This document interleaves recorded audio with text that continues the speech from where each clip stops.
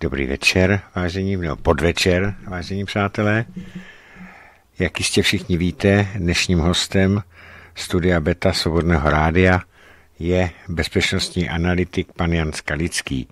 Pane Skalický, já vám přeji dobrý večer a vítejte opět po nějakém čase na vlnách Svobodného rádia. Dobrý večer. Dobrý večer, přeji vám i posluchačům a děkuji za pozvání. Pane Skalický, jak všichni víme, teď rezonuje to tiskem, tak nám pan minister vnitra Rakušan opět jednou lhal. I kdyby to bylo v normální zemi, tak takovýhle minister by vůbec nemohl být ve funkci. Tady u nás se neděje vůbec nic.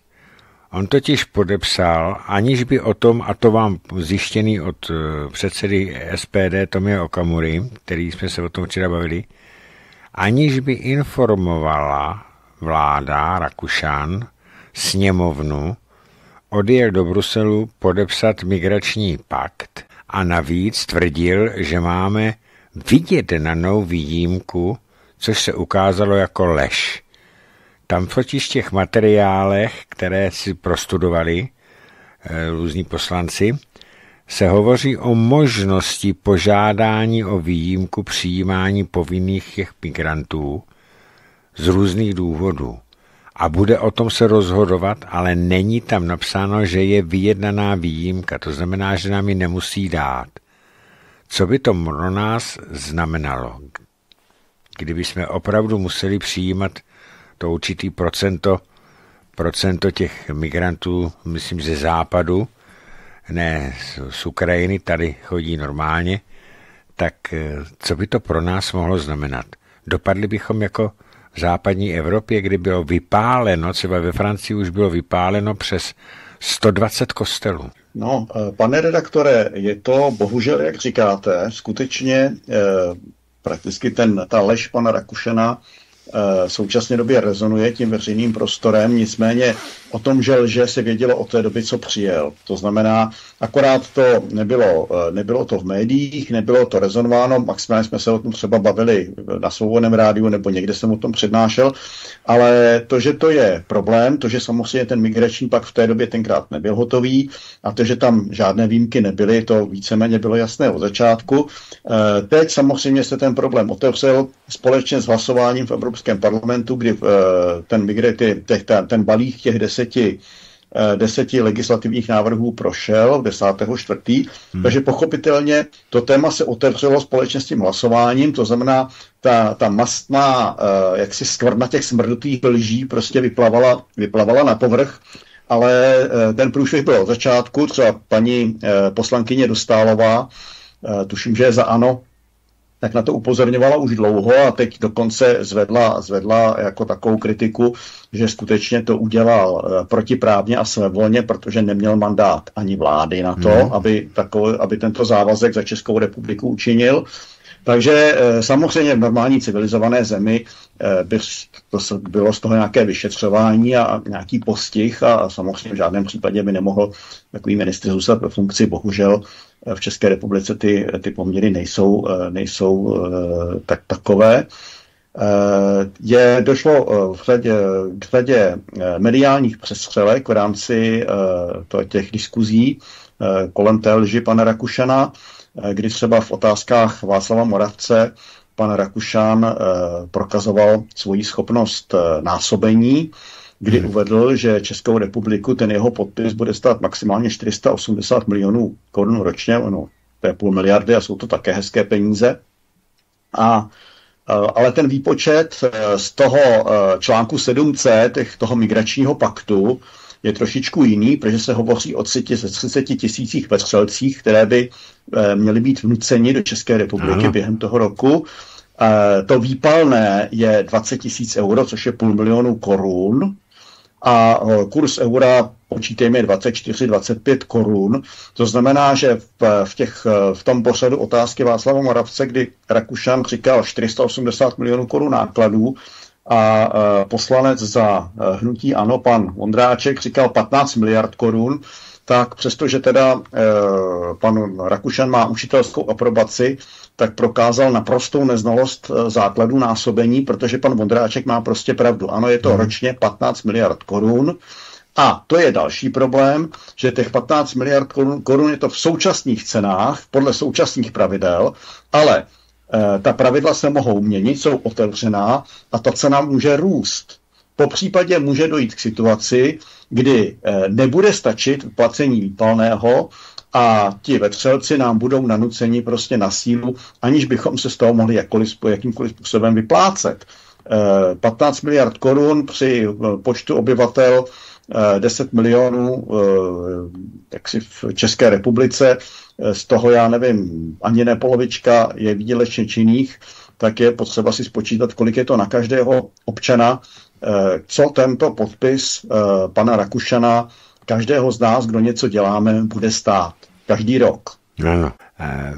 On taky tvrdil, že to nešlo nepodepsat, ale jestli se nemýlím, tak eh, Fico to nepodepsal. Za prvé Fico to nepodepsal, pokud i Poláci se, e, přestože tam došlo ke změně e, jaksi vládnoucí garnitury, ano. tak Poláci se to, do toho také nehrnou, ale e, já se domnívám, že prostě žijeme ještě v nebo měli bychom žít v právním státě, kdy minister může podepsat jenom to, k čemu je zmocněn, takže naopak já říkám, že to nešlo podepsat po právní stránce, protože on opravdu Eh, tak jak to vysvětlovala paní poslankyně Dostálová, to zmocnění neměl a žádný argument, že by to zmocnění měl, on nedodal. Takže eh, říkám, je to, je to věc třeba následné vlády a následného vyšetřování prostě tohoto poklesku, co z toho bude a jak se to bude nějakým způsobem posuzovat. Faktem je, že minister Rakušan tímto svým selháním pan třeba poslanec Babiš hovoří otevřeně o zradě, eh, tak eh, nás dostal do situace, že eh, český volič by si měl uvědomit to, co se hraje, o, že se skutečně hraje o budoucnost, že ty, ty, ty vetřelce, kteří by byli z té jiné civilizační struktury, z jiné, z jiné, z jiné civilizace, takže co by to tady znamenalo? Každý se může spodívat do Francie, každý se může podívat do Švédska, každý se může spodívat do určitých oblastí Německa, jak to tam vypadá, a e, položit si otázku, zda to chce tady taky, po případě ještě v horší fázi. Takže e, to by znamenalo skutečně katastrofu a e, ten e, Rakušanův podpis víceméně zdůrazňuje nutnost, e, aby e, český volič ve volbách rozhodl pro strany, které nás vyváží z Evropské unie, protože v současné době se už asi nic jiného dělat nedá. To znamená, my musíme tu Evropskou unii opustit, abychom se vyhli této katastrofě, kterou podle mě neoprávněným podpisem na nás pan Rakušan uvrhl. Eh, já jsem viděl televizní pořád, dostal jsem na to, na to tip, nebo respektive poslali mi to nahraný na videu, kde se právě o tom bavila paní hm, poslankyně, bývalá hejtmanka Českého Jermanová, a ta řekla jasně, že když to ohlásil, takže byli překvapení i členové vlády. Jo, že tam evidentně o tom nevěděli, že se s ní na to ptali. To znamená, že není pravda, jak tvrdí potom teďka eh, stanaři, že vláda o tom věděla. Jermanová jasně tam říkala a ty poslanci vládní, tam byl nějaký stán a nějaký tam byl, nějaký tam byl, já nevím ještě odkud, taky z koalice, tak eh, ty tvrdili, že se to viděli, ale neřekli ani jedno, ani jeden z nich, pane Skalický, neřekl, ten a ten den se to na vládě projednávalo, protože se to neprojednávalo. Ne, samozřejmě e, o jednání vlády se dělá zápis, to znamená, ve chvíli, kdyby to bylo projednáno vládou, tak tam je jednoduchá obrana. Odkážu na patřičný, e, na patřičný e, jaksi ustanovení zápisu z toho daného data no, a je vyřešeno. Takže je jasný, že Eh, paní poslankyně eh, Dostálová nebo paní poslankyně Jermanová bohužel v tomto případě mají pravdu, že ten podpis byl podle mého názoru naprosto svévolný a trestuhodný. Pane Skalický, nenaplňuje takovéto jednání Rakušana a jejich víc, ještě se k tomu dostanu, dneska jsem četl fungonové informace, nenaplňuje skutkovou podstatu eh, vládnutí diktátorsky? No, je to překročení pravomocí a je samozřejmě na uh, jaksi posouzení státního zastupitelství, zda to uh, zda překročil pravomoce takovým způsobem, že to je zneužití pravomocí úřední osoby, anebo nikoliv. Já si tohle to nedovolím posoudit. Uh, říkám, u těch, u těch jednání jsem nebyl a ta uh, pravidla pro jednání v rámci Rady uh, ministrů nebo Rady Evropy neznám. To znamená, mm-hmm je potřeba skutečně ve chvíli, kdy tady začne být nějaká normální vláda, eh, to znamená dáli pámbu a budou mít voliči rozum a nenechají se podvést a ne, nepodaří se nějakým způsobem volby zmanipulovat přes, eh, přes ty takzvané korespondenční volby a podobné věci, že, že by třeba volili americké hřbitovy, tak eh, potom pochopitelně tohleto předložit nějakým právníkům ústavním a trestně právním, aby teda tu, tu případnou vinu posoudili, ale říkám, je to, eh, je to vina, je to podpis eh, v prvním kole, eh, jestliže se z toho nepodaří vyvázat, a jestliže Česká republika jaksi neodejde z Evropské unie, což v současné době prostě kam já jiné řešení už nevidím, tak je to, je to vina, je to podpis za 15 miliard ročně. No a teďka, když to dobře dopadne. Když to, dobře, když to dobře dopadne. Vy jste zmínil příklad eh, toho, a já se toho právě obávám, a tady ti sluníčkáři nebo lipkárdi a já nevím, tihleti podporovatelé nebo placení trolové snad eh, pětikolky, kteří píšou na diskuze, tak tvrdí, když se nic neděje, jestli pak máte nějaký problémy s migranty tady, jsou tady, ale vy jste zmínil Švédsko. Ve Švédsku já jsem se dočetl, a bylo to na, na IGESu, už před časem, že ve švédských městech, ve velkých městech, už vládnou v podstatě tyhle ty arabsko-africké gengy tak, že si s nima policie neví rady a ten policejní ředitel švédský požádal o pomoc armádu v boji proti těm gengům, které, které používají dokonce takové zbraně, jako jsou bazuky a, a, a a, a kulomety. To no, těžké zbraně. Tuto, tuto zprávu jsem zaregistroval. Ta situace v eh, severských zemích je alarmující, ale říkám, stačí si zaplatit za 2000 zájezd do Paříže, a tam se projet s metrem. Nemusíte ani do Švédska, to je daleko. Stačí prostě si projet uh, předměstí Paříže a uh, když budete mít štěstí, tak se vrátíte živej a zdravej. Peníze tam radši sebou nevoste a uh, uvidíte, jak prostě ty země dopadají. Uvidíte tam vypálený bloky, vypálený čtvrti, uvidíte tam prostě místa, kam policie zásadně nevstupuje bez nějakého vojenského nebo polovojenského doprovodu. Takže eh, to jsou věci, které samozřejmě žádoucí u nás eh, nejsou, aspoň teda ne pro mě jako pro občana České republiky, ale samozřejmě je tady, eh, je tady prostě garnitura, které to zjevně nevadí, nebo která plní nějaké pokyny, to znamená včetně toho, že tady nějakým způsobem do budoucna má dojít k částečně nebo větší výměně obyvatelstva a nahrazení toho, toho původního obyvatelstva něčím, co je naprosto neslučitelné s naší civilizací a s naší kulturou. Jinak si metrem pařížským mohu poskytnout osobní zážitek. Když jsme v roce 2015 byli naposledy v Paříži, tak jsme se zdrželi u Eiffelky a jeli jsme metrem okolo 10. hodiny večer do hotelu, který jsme měli, eh, který jsme měli na pokraji Montmartru a tam jezdili ty vlaky, které byly propojený. Celý ten vlak metr byl propojený, jo? nebyly tam jednotlivý vagony, bylo to vidět celý. A teď si představte, žena je blondětá, a teď si představte, že jsme tam okolo té desáté hodiny jeli a celým tom přeplněným metráckým vlaku jsme byli jediní dva běloši. Můžu vám říct, přežili jsme teda až na jednoho malého azijského chlapečka, který se začal s námi bavit, tak eh, jsme to přežili v klidu, ale nebylo mi dobře. To byl, ten vlak byl zhasnutý. Hmm.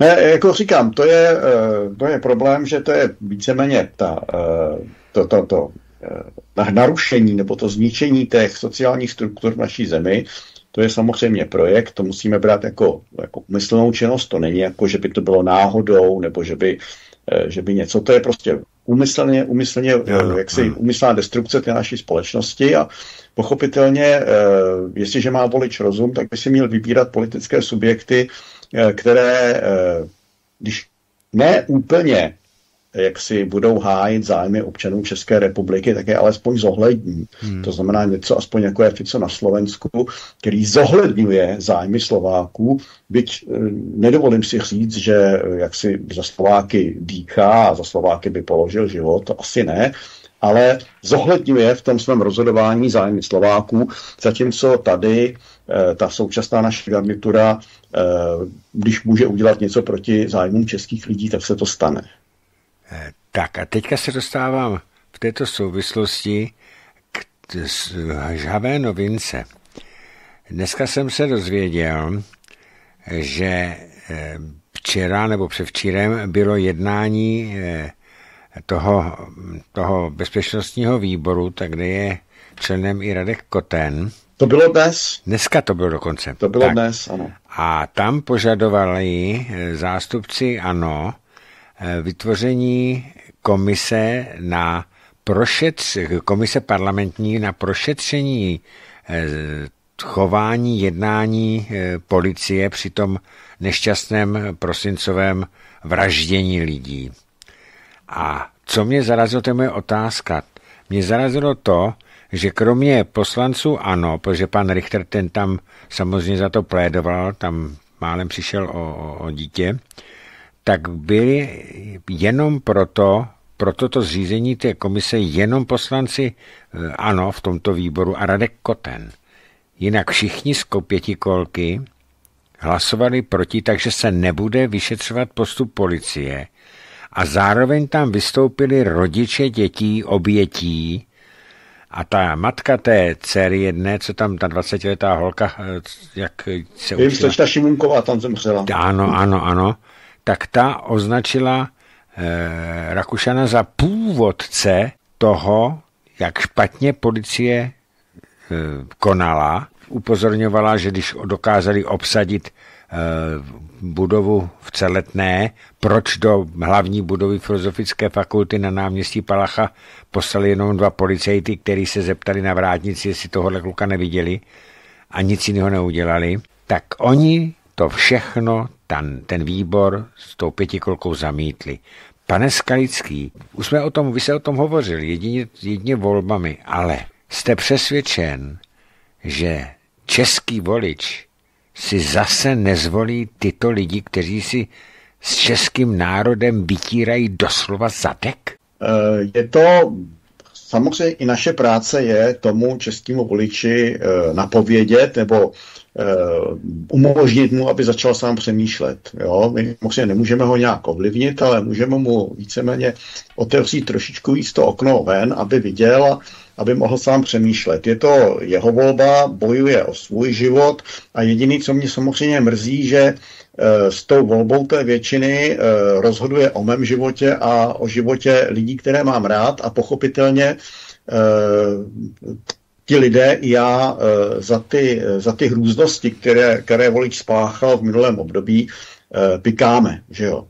Ať už, je to, ať už je to účast na zelené sebevraždě, to znamená na zničení ekonomiky, na zničení společnosti, ať už je to ta výměna obyvatelstva v podobě té úmyslně řízené migrace sem, ať už je to udržování války, to, to všechno má směřovat k destrukci společnosti a e, víceméně k vytvoření poptávky po novém světovém řádu. Jo? To je jediný smysl je tady, že víceméně ti, ti lidé, kteří zatím v té Evropě žili bohatě a spokojeně celku, byť mnozí reptali a, remcali a chtěli by víc a podobné věci, ale žili jsme si tady celkem spokojeně a, a bohatě, tak e, je potřeba víceméně, aby žili nespokojeně a chudě, to znamená připravit je o práva, o svobody, připravit je o to bezpečí, to znamená, to musí zajistit právě ta, ta, ty, ty vetřelci z těch nepřátelských kultur, že jo, hmm. e, připravit je o, eh, o, o, ten, o tu životní úroveň, to z toho zajistí drahé energie, bankroty firem, zelená sebevražda, která zničí celé průmyslové sektory. To znamená, tady dojde ke zbídačení té, toho našeho euroatlantického prostoru. Samozřejmě Spojených států se to bude týkat taky, ale trošičku méně, protože oni nějakým způsobem parazitují na nás díky tomu dolaru. A víceméně Cílem je vytvoření poptávky po změně, to znamená, zase doporučuji každému posluchači, aby si přečet Švába, ten jeho Great Reset. Mm, mm. Je to, tuším, že je to ke stažení zadarmo ve slovenštině, což každý tomu porozumíme. A e, z toho pochopí, že skutečně o co, o co těm Gragaunerům, o co těm prostě e, těm skutečným vládcům relativním, který tady s náma hrajou to loutkový divadlo prostřednictvím těch fialů a podobných, tak eh, o co jim vlastně jde, že tady je skutečně o, změnu společenských struktur a o zotročení obyvatelstva jako takového, to znamená přesně jak to, jak to definoval Eh, že eh, nebudete nic vlastnit a budete šťastní, no eh, šťastní budete, když vám budou dávat třeba nějaký drogy povinně, že jo, to mm, mm, přestanete myslet a budete se jako debilně chechtat a maximálně prostě eh, někdo vám vyměří nějaký čas a pak vás vypne, že jo, nějakou eutanází. Takže na tohle je potřeba se připravit, o co se tady hraje, o to vlastně jde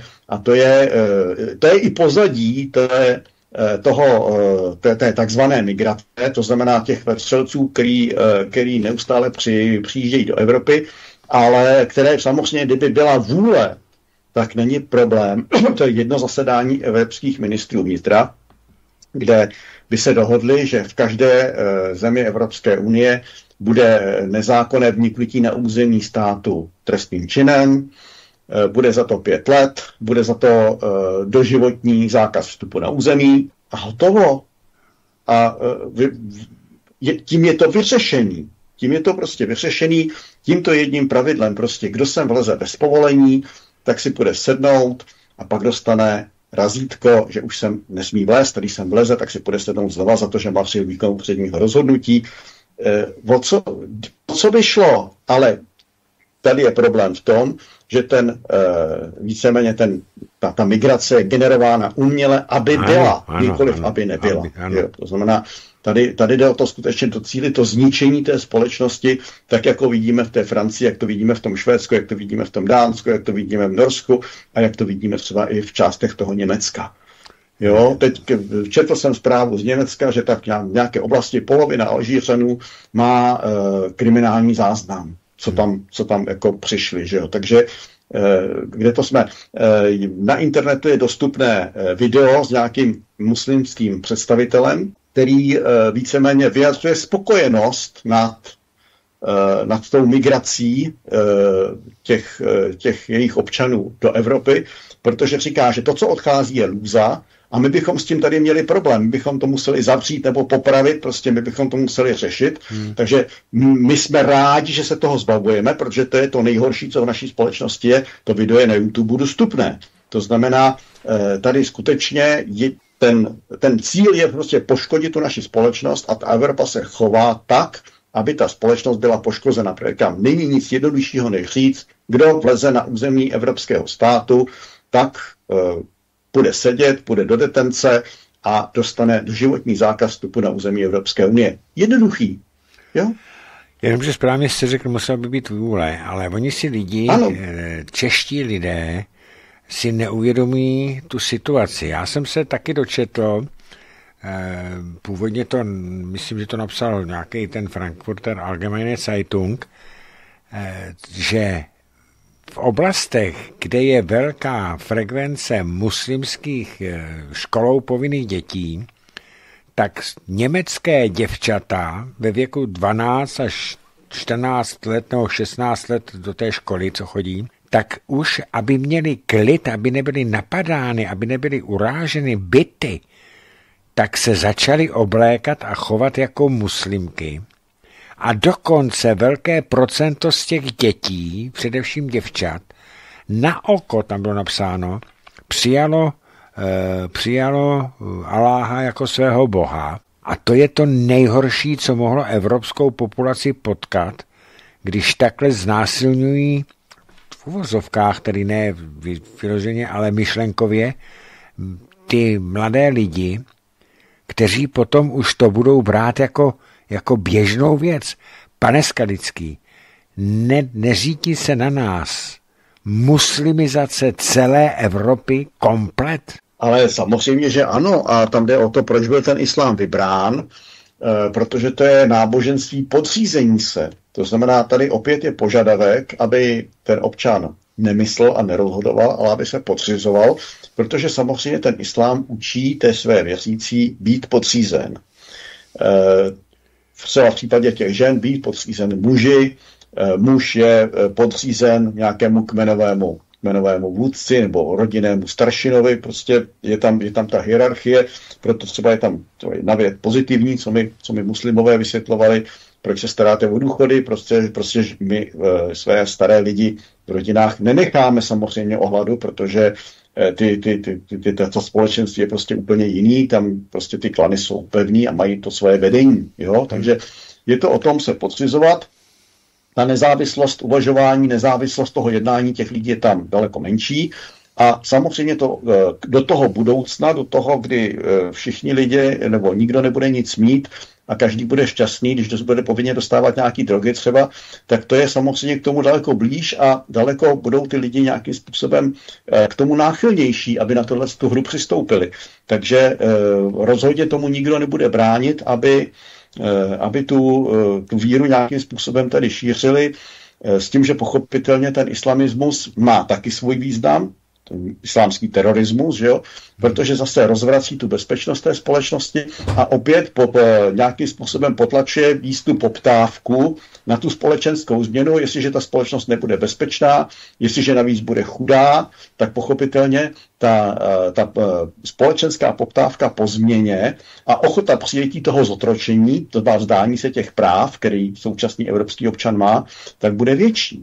Já se hovořil eh, dneska s, s jedním politikem a budu ještě ho zavolat zítra. Budu se ptát, zdali eh, na jednání pana Rakušana v tom Bruselu budou nějakým způsobem reagovat, kromě teda interpelací nebo kromě toho vyjadřování se v tisku, například tím, že by ho na něj podali trestní oznámení pro v podstatě jak jste říkal, zneužití pravomoci veřejného činitele.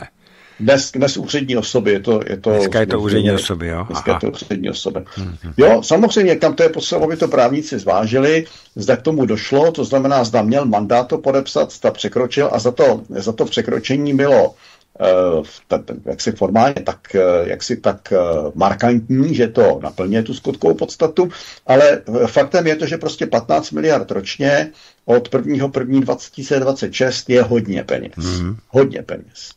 A to ještě není právě jistý, že toho zůstane. Ano. A ještě není vůbec jistý, že eh, se podaří tady tu jinou vetřeleckou kulturu, která se tady bude ucházet o moc, tak, že se jí podaří nějakým způsobem sem, sem nepustit. Jo, protože samozřejmě ta situace v té Evropě může být taková, že e, nám budou, budou tito vetřelci nějakým způsobem vnucováni, ale říkám, je to, je to věc um, chtění, to znamená, že to, je to úmysl tady e, sem tu migraci dovážet a e, kdyby ta Evropa tu migraci sem nechtěla dovážet, tak to řešení je poměrně jednoduchý, je to legislativní řešení, já si vzpomínám, je to asi 4-5 let, v našem mainstreamu proběhla zpráva, že e, migranti, e, nezákonní, nelegální migranti v Ruské federaci, někde to bylo e, za Moskvou, e, dělali, dělali nějaký, v nějakém detenčním zařízení dělali virvál a jakože to e, bylo jakože prostě, že v Ruské federaci je neklid a když jste si tu zprávu rozklikl, tak jste se dočetl, že oni dělají virvál, aby byli z toho detenčního zařízení co nejdříve repatriováni domů. Hmm. Takže eh, je to zase o tom, aby to detenční zařízení poskytovalo jaksi takové klima těm, eh, těm vetřelcům, aby toužili po té repatriaci, že? tak jak to, jak to tenkrát, eh, tenkrát bylo v, tom, v, tom, v, té, v té Ruské federaci, že? v tom detenčním zařízení. Takže je to, je to skutečně prostě záležitost složitá, ale je to samozřejmě věc, která by šla vyřešit jednoduše, kdyby byla vůle to řešit. A máme tady, pane Škalický, další problém. Uh, ukrajinský prezident Zelenský vydal výnos že ukrajinské konzuláty nesmějí vydávat další papíry nutné k pobytu v cizích zemích, eh, pokud jsou to muži v braném věku, to znamená 24 dneska až 60 let. U nás tady žije zhruba 600 tisíc Ukrajinců, z čeho je, jak jsem se dočetl, 380 tisíc registrovaných uprchlíků před válkou. Tam ti jsou tady, kteří tady pracovali už delší dobu a to ještě není konečné číslo, protože se odhaduje, že o spoustě z nich se vůbec tady úředně neví, takže jich tady může být těch Ukrajinců až milion. A teď mi řekněte, co bude, co nastane, když ti Ukrajinci budou potřebovat prodloužit třeba svůj pas. Oni jim to neudělají. Co budou dělat? Oni nebudou chtít jít zpátky na tu Ukrajinu, protože 80% lidí, kterých se ptali novináři, Ukrajinců, i kdyby skončila válka na Ukrajině a byl tam mír a Ukrajina zůstala celistvá, tak se tam nehodlají vracet, protože tam je strašně, je tam bída. Co by se potom, pane Skalický, dělo, kdyby ti lidé tady přestali být legálně, tudíž by neměli, neměli právo získat oficiálně legální práci, nelegálních prací zase kromě stavebnictví až tak moc není, co by se tady dělo? Protože já jsem přesvědčený, že nikdo by nechtěl se nechat eh, repatriovat eh, zpátky na Ukrajinu, aby byl no, šupem poslaný na, na, na, na frontu do první linie. Co by tady potom nastalo? Už teď jsou tady ukrajinské gengy. Co by potom, no, jak by se živili?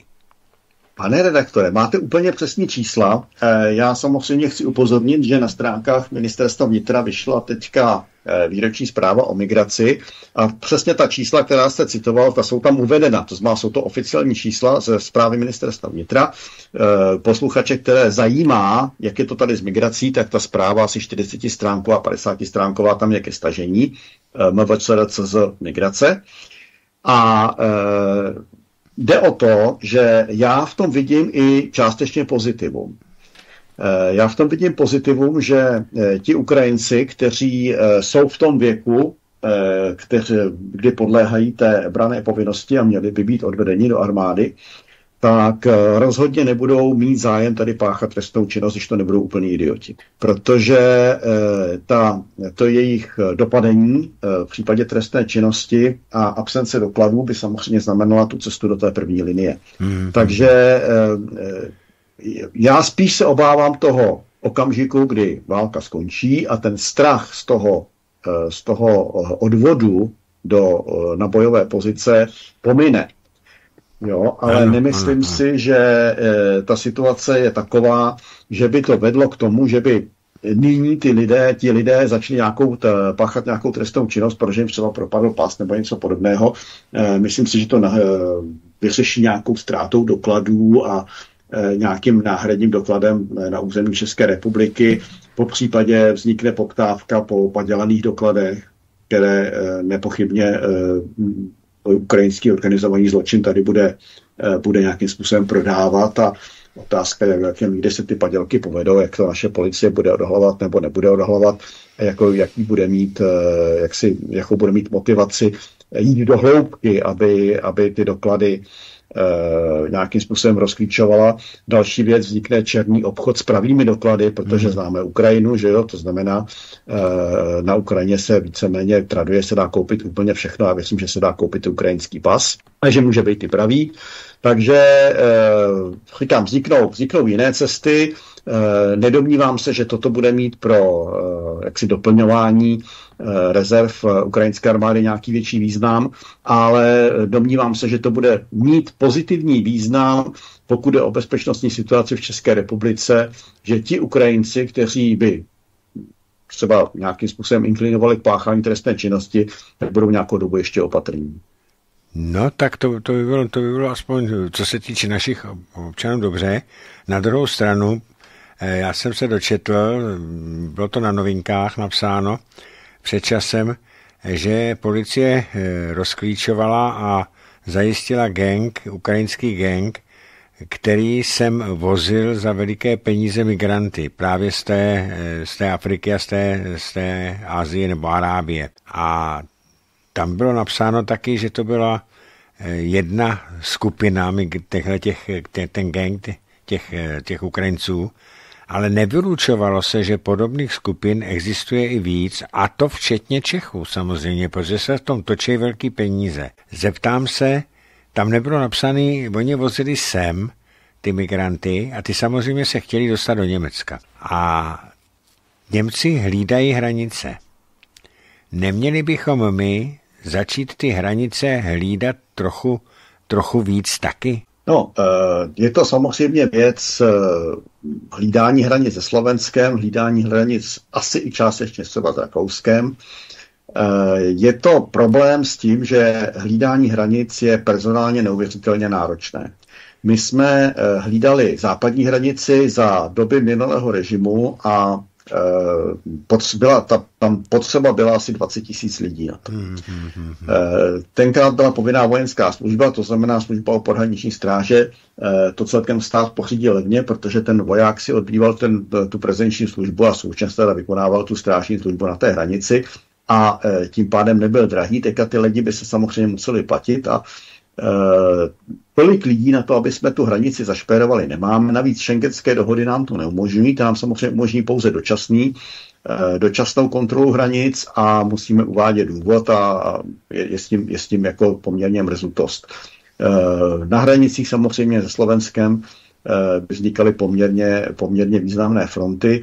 Mohlo by to zasahnout třeba i hranici s Polskem, kdyby to chtěl někdo obcházet přes Slovensko a Polsko. Takže eh, v současné době je důsledná ostrá hranic eh, problematická mm, mm, a skutečně by to mělo být o ostraze vnější hranice Evropské unie, která ale umyslně nefunguje. Ano, jo? To, je, ano, to, je ten, to je ten základní problém, že umyslně nefunguje. Mm, mm. Snaží se nějakým způsobem Orbán řešit svoje jižní hranice, tam staví zeď a nějakým způsobem mm, si za to vysluhuje kritiku. Eh, právě těch, eh, těch struktur, které mají eh, jaksi za cíl zničení té naší civilizace, to znamená co, způsobení na co největší škod Evropě. Já si budu zase citovat z té zprávy ministerstva vnitra, takže to nejsou žádné dezinformace, je to já dokonce věřím těm informacím, které jsou zveřejněny v té zprávě ministerstva vnitra o migraci. Eh, protože považují ty lidi, kteří tam dělají, byť teda to vedení rezortu je takové, jaké je, tak je považuji ještě v zále za profesionály. Eh, vzpomíná na pana, na pana ředitele Hajšmana, který to tam zakládal. Hmm.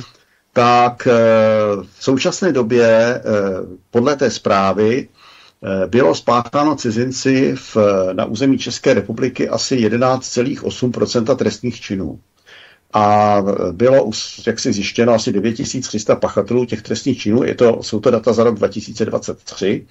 Odsouzeno bylo v průběhu roku 23 6392 pachatelů, řad cizinců, a je to asi 12,5% odsouzených. Je to malinko nad jaksi hranicí toho, kolik ti cizinci tady Eh, tvoří eh, jaksi obyvatel. Na druhou stranu, ti, kteří tu trestnou činnost nepáchají, jsou tady méně. To jsou třeba hm, přestárlí lidé, eh, který samozřejmě v té naší populaci české, těch přestárlých lidí je podstatně více než těch migrantů, kteří tady jsou.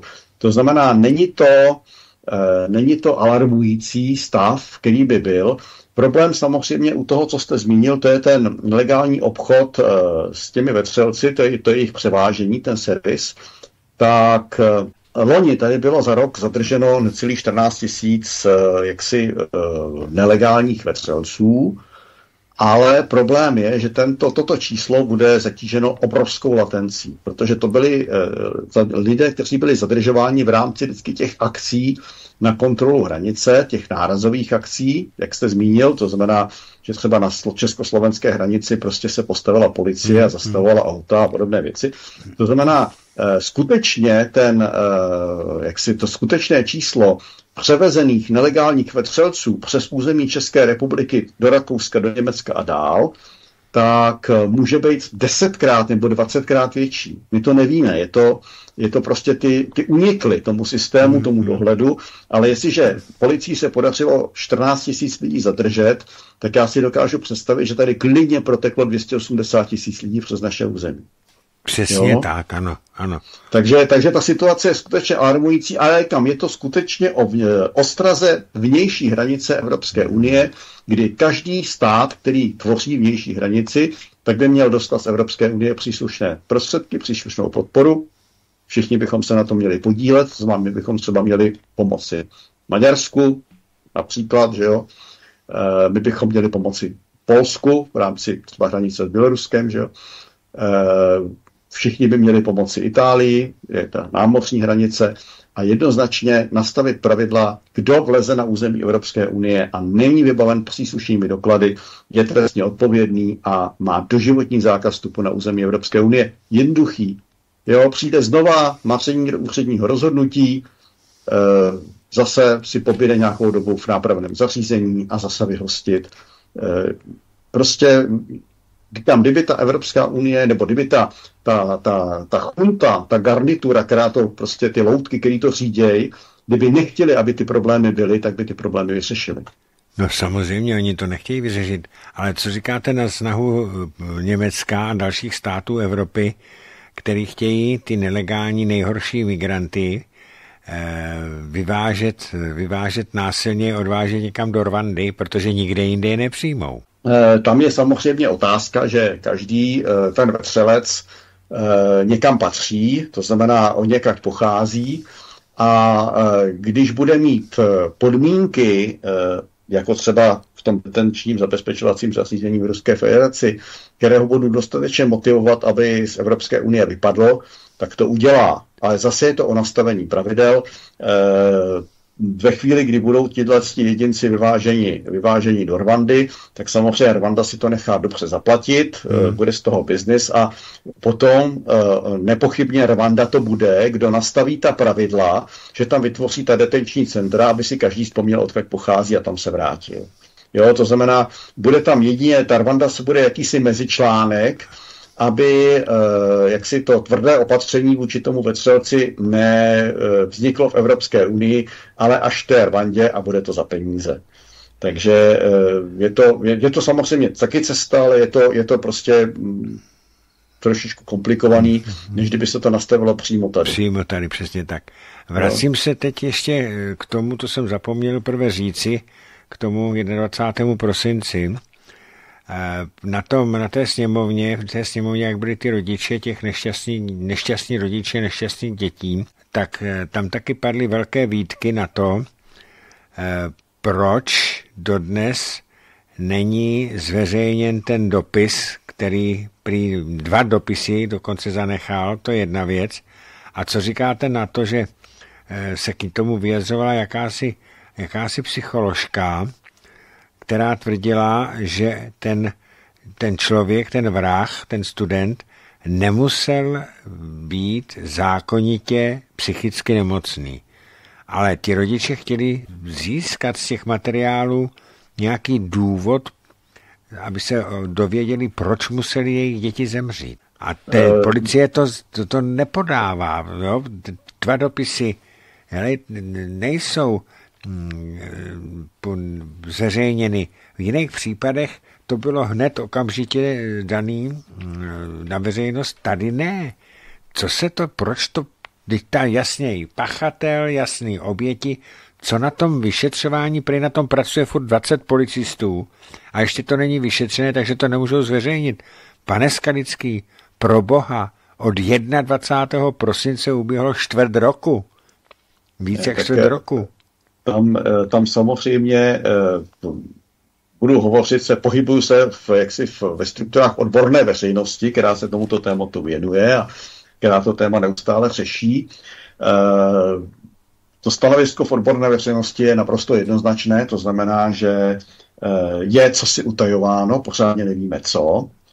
A to utajování pravděpodobně souvisí s nadcházejícími volbami do Evropského parlamentu a ty údaje, otázka jestli všechny nebo jenom některé, k tomu trestnému činu budou zveřejněny po volbách. To je, to je názor, který víceméně slychávám u svých kolegů, kteří hmm, se tou hmm. bezpečností zajímají, zabývají, většinou jsou to bývalí policisté, státní zástupci a tak dále.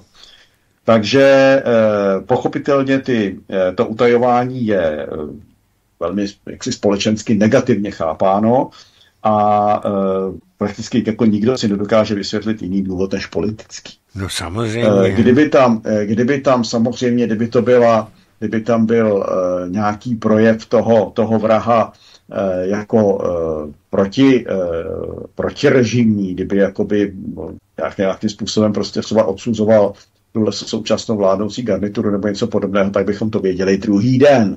Jo, ano. že ano. jo, jako přesně tak jako, jako ten zoufalec, který, který uh, tenkrát skonstruoval tu, nebo dělal ty, dělal ty jakoby islámské útoky, a shodou okolností někde hrál na harmoniku, tak eh, to jsme viděli druhý den všechno, že jo, o tom, protože to bylo, eh, ano, protože ano. se samozřejmě do toho namočilo SPD, byť samozřejmě členem SPD nebyl, nebyl ale nebyl. nicméně, nicméně někde se tam vyskytlo na nějaké akci a v Turánu se to spojovalo s SPD, takže kdyby to bylo jak si, uh, kdyby se to hodilo politicky, tak jsme to věděli do konce roku. Hmm. Protože se to zjevně politicky nehodí, tak nevíme vůbec nic o tom. A dokonce ministr vnitra Rakušan teďka nechal projít vládou včera návrh uh, změny zákona 119 2002 sbírky o zbraních a střelivu, kde ten, ten návrh je úplně nesmyslný a velmi nebezpečný a který, který zdůvodňuje tím, že reaguje na tu vraždu na Filozofické fakultě, na tu masovou vraždu, aniž by byla k dispozici analýza toho jednání, to znamená, aniž by byla k dispozici víceméně analýza toho, na co vlastně má reagovat. Hmm, hmm. Takže, eh, takže je, to, eh, je to zase možná nějaká snaha prostě protlačit Eh, protlačit nějaký legislativní sprasek pod nějakým pláštíkem, protože ve chvíli, kdy se ty, eh, ty údaje, ta, ta pravda nějakým způsobem vyteče, když se to zveřejní, aspoň částečně vyteče, tak pochopitelně to oblbování poslanců nebude možné. No, já jsem se taky právě dneska dočet, možná na základě toho, co jste říkal, vyjádření obchodníků se zbraněmi, který odmítají, že by měli hlásit u každého nákupce, teda ten člověk, který si u někde koupit nějakou zbraň a má na to příslušné papíry, měli hlásit, jestli je normální nebo není normální, jak na ně působí. A oni říkají, že to je nesmysl, přece nejsou psychiatři, psychologové, a že to, že to je naprostá kravina tohle, co chtějí dělat. Takže... No, no, ono, to je, ono to je ještě horší. Ono to je celé, uh, celé jako úplně špatně. Uh, tam samozřejmě uh, Ministerstvo vnitra se zhlídlo asi ve směrnici eh, proti španí praní špinavých peněz, jako tak, jak se hlásí ty neobvyklé obchody v bankách, takže se snaží nějakým způsobem to nadspat do toho zákona 119, ale aniž by ten podeslý obchod jakkoliv definovalo. To znamená, eh, víceméně eh, je možný vás potrestat za to, že jste neohlásil cokoliv a je možný, že jakýkoliv jednání nemohla, asi to je to v pořádku, protože vy vlastně nevíte, co máte hlásit. To znamená, je to proti smyslu legislativy vůbec, když ukládáme občanovi nějakou povinnost, tak pochopitelně musí vědět, co má dělat. Jo? Jestli má něco platit, nebo něco říkat, nebo něco vyplsovat. Prostě není možný říct, aby nechat na, na uh, uvážení občana, který není psychiatr, tak nechat na uvážení občana, co je podezřelé a co ne, tak jestliže máme tisíc držitelů zbrojních licencí, kteří se věnují obchodu e, v této oblasti, tak e, aby, aby bylo tisíc různých názorů, tak to opravdu nejde. E, je tam ještě daleko horší věc, na to třeba někdy můžeme udělat další pořad. Je tam, je tam samozřejmě to, že se jak si policie bude mít možnost sbírat zbraně těm, o kterých jakýsi orgán veřejné moci, což je samozřejmě krycí název pro jistou spravodajskou službu, mm-hmm. tak eh, jak si usoudí, že nemá mít zbraně, ale kam to je na, to je na zvláštní posad, je to, je to poměrně široké téma a já si myslím, že třeba dnes, dnešní echo to zveřejnilo poměrně hezky. Je to, je, to, je to velmi ošklivá, je, je ošklivá věc a uvidíme, jak to dopadne v poslanecké sněmovně, když tak pochopitelně bude potřeba opět Eh, nějakým způsobem eh, dbát na to, aby ve volbách zvítězily subjekty, které se zaváží, že tyto, tyto legislativní zprasky z té legislativy naší odstraní. Jo, je to, ministerstvo vnitra bylo známé tím, konec konců já jsem tady před chviličkou pochválil tu zprávu o migraci ministerstva vnitra, že je kvalitní a jsem přesvědčen, že i pravdivá tak ministerstvo vnitra bylo dlouhodobě eh, víceméně eh, jaksi bráno jako odborný, jako odborný jaksi místo, kde ty legislativní návrhy vznikají třeba pod tlakem Evropské unie nějakým způsobem jakoby manipulovaný nebo, nebo ovlivněný, ale vždy to bylo, ty návrhy byly odborní. To, co teď teda z toho ministerstva vzešlo, ten návrh novely zákona 119, nebo i ten i ta ustanovení, která se nějakým způsobem násilně nadspala do toho nového zákona o zbraních, který ale naštěstí bude platit až od ledna 26, takže je zase šance, že nějaká další vládní garnitura to v nějakém rychlém, eh, jaksi, nějakém zrychleném jaksi, procesu opraví a ty, ty vředy hnísavé, které tam jsou vneseny, nějakým způsobem z toho dostane ven tak eh, to je skutečně prato 180 stupňů. To jsme se vrátili někdy do eh, doby těch šílených návrhů Stanislava Grose, které předkládal poslanecké sněmovně, kde byly zamítány. Jo. Takže hmm, hmm. eh, je to, jsme, jsme zpátky a, a je, je to prostě katastrofa. Ale říkám, ten, eh, ten, eh, ta novela zákona o zbraních a, a střelivu je na zvláštní pořád a doufáme, že si s tím poslanci někde poradí a že si, že si třeba poslanci za ODS uvědomí, že Eh, jaksi nějaké domovní prohlídky bez soudu se můžou týkat v příštích volebních obdobích i jich. Jo, takže to je, je to složité. Uděláme, uděláme příště, pamatujte si to příště, až se ozvu, tak uděláme pořád právě o tomhle zákonu. Ale vy se tady říkal, aby občani eh, volili uvážlivě eh, ve volbách, to znamená včetně těch evropských voleb, co nás čekají teďka začátkem června. Ale podívejte se, co jsem dostal dneska za za mail. To je zajímavý. Já ho přečtu, je to kraťonké. Dobrý den, pane Kapale. Dnes jsem na Facebook napsala, že volím číslo 3, to je SPD, má trojku, a hned mi to bylo smazáno. Dokonce dvakrát. Tak už to i Facebook ovlivňuje, protože se bojí SPD. Tak se podívejte, jak se tady snaží ten establishment ovlivňovat volby i tím, že nařídí českému provozovateli Facebooku, že jakmile tam někdo napíše, že bude volit trojku, no tak mu to dvakrát smažou. Ale tak jako víceméně teď to máme, eh, to, co se tady děje, jako samozřejmě už je daleko, daleko od jakékoliv demokracie, od jakékoliv svobody. Eh, máme to eh, celkem jasný svoje, jestli se posluchači dívají na XTV televizi, tak doporučuji tentokrát eh, zabrousit na XTV televizi. Je tam rozhovor o eh, knize Spiknutí, kterou napsal pan Procházka a pan Palinka.